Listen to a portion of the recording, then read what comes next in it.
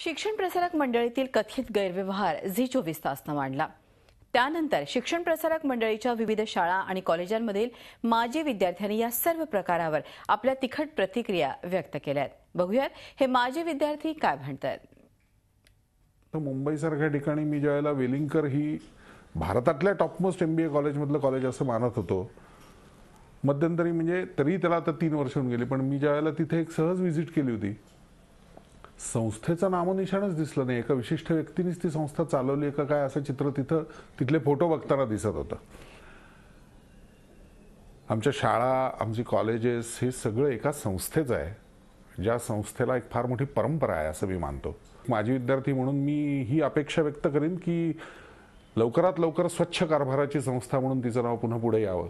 जे जे काही तिच्यावरती बंदी आलेली आहेत त्याच्यातनं तिला बाहेर पडावं. आणि पुन्हा देणग्यांचा आणि चांगल्या विद्यार्थ्यांचा स्रोत संस्थेच्या दिशेने सुरू व्हावा. जर चॅरिटी कमिशन लक्ष घातलं आणि जर त्याच्यावर प्रशासक नेमला प्रशासक मंडळ नेमलं आणि खरोखर ज्यांना शिक्षणातलं कळतं आणि शिक्षणाचं ध्येय आणि तेवढे डा शिक्षण क्षेत्रात डायनॅमिक लोक लागतात. पुढच्या वीस वर्षात काय घडेल याचा अंदाज आधी घेणारे लोक लागतात. तर असे होते पुण्यात तोपर्यंत हे टिकलं. झी चोवीस तास रहा एक पाऊल पुढे.